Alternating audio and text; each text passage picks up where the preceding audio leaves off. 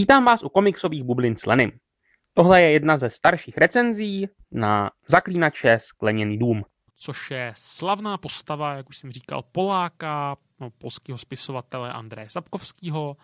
Dočkal se už několika knížek, počítačových her a loni v březnu začala v Americe ve vydavatelství Dark Horse vycházet i pětidílná komiksová minisérie Skleněný dům. Eh, pro úplnost dodám, že to není jako první zaklínačský komiks, který v češtině vyšel. Už v minulosti se tady objevilo spíš ve formě sešitovek dva díly příběhu zájmy států. A ještě než se pustím do recenze, tak vyložím karty na stůl. Osobně mimo ty zájmy států zaklínače neznám. Nečetl jsem žádnou knížku, nehrál jsem to a tuhle recenzi berte jako názor komiksového fanouška. Jo, fanačtičtí uctívači Sapkovského budou mít jistě jiný pohled a možná mi to dají sežrat, whatever. První problém s tímhle komiksem jsem měl ještě než jsem ho otevřel a tím je prostě hnusná obálka Majka Mignoli. Já nejsem fandou jeho stylu kresby a v tomhle ale případě na mě ta obálka působí vyloženě odpudivě. Jo, kdyby Mignola celý ten komik nakreslil, tak neřeknu ani slovo a hodí se to tam. Ale to není ten případ kresbu má kompletně na starosti Joe Quairo. A já jsem si našel normální obálku prvního čísla ta se mě teda líbila mnohem víc. Ale jo, tohle je detail a nebudu zbytečně hejtovat. Podívejme se na příběh z pera Paula Tobiniho. Je to úplně nový vyprávění o, zik- o zaklínači, nic, co znáte z knížek eh, nebo ze hry. Hlavním hrdinou příběhu je zaklínač Geralt, Pozor, zaklínač není jenom nějaký název série, ale je to i jakýsi druh povolání v tomhle světě. Já jsem se bohužel za celou knížku nedozvěděl, co vlastně takový zaklínač dělá. Je to asi teda něco jako lovec monster, co umí nějaký základní čáry máry, ale v jedné pasáži třeba Geralt zmiňuje, že na rozdíl od ostatních neprošel kompletní transformací. A nějaký jako blížší vysvětlení pro nováčky mi tady chybělo. Podobný problém jsem pak měl i s jeho jakýmsi kouzelným náramkem ve tvaru vlka, který začíná vibrovat, když je kolem magie a nebo nějaký problémy. Jestli umí nějaký další cool triky, těžko říct, opět jsem se o tom nic nedozvěděl, ale až na tyhle ty dvě věci je komiks poměrně user-friendly a neměl jsem vůbec problém zorientovat se v ději. Tak tedy, Geralt projíždí krajinou a potkává lovce Jakuba. Dají se do řeči a my zjišťujeme, že Jakubovi před nějakým pátkem zemřela žena Marta, což ho naprosto zlomilo. Při cestě lesem tenhle ten manželský pár přepadli mýtické bytosti jménem Bruxy, tu Martu unesli a udělali z ní také Bruxu, jakýsi nemrtvý přízrak. Ta se od času, čas od času Jakubovi zjevuje, ale k žádné komunikaci mezi nimi nedochází. Uh, Jakub se zaklínačem popíjí, pobaví se a on se dalšího dne rozhodne, že se ke Geraltovi přidá a odjede s ním do města.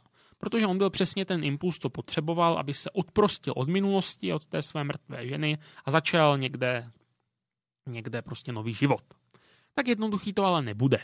Tahle dvojice zabloudí v začarovaném lese plné dalších mýtických potvor, no říct jako, že Tobiny sype z rukávu jednu za druhou, dostanou se až k podivnému skleněnému domu, kde z balkónu zve dovnitř Jakubova mrtvá žena.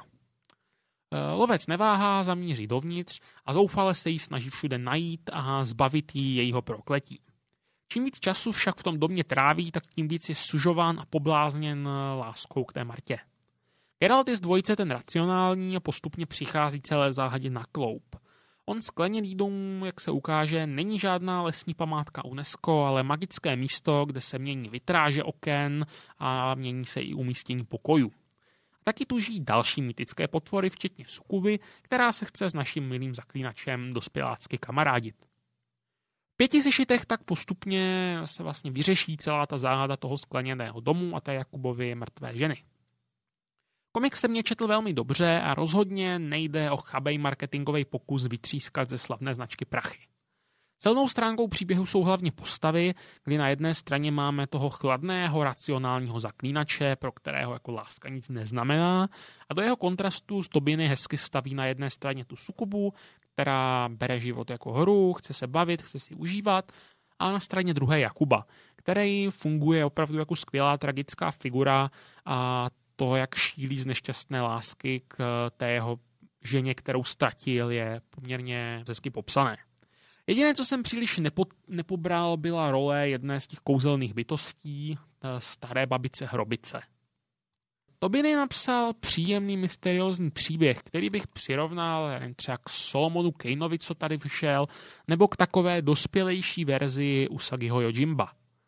Scénář má hlavu a patu, ví, co chce vyprávět a jenom ta závěrečná pointa mi přišla poněkud slava eh, a hodila by se spíš ke kratší povídce než jako k celému buku.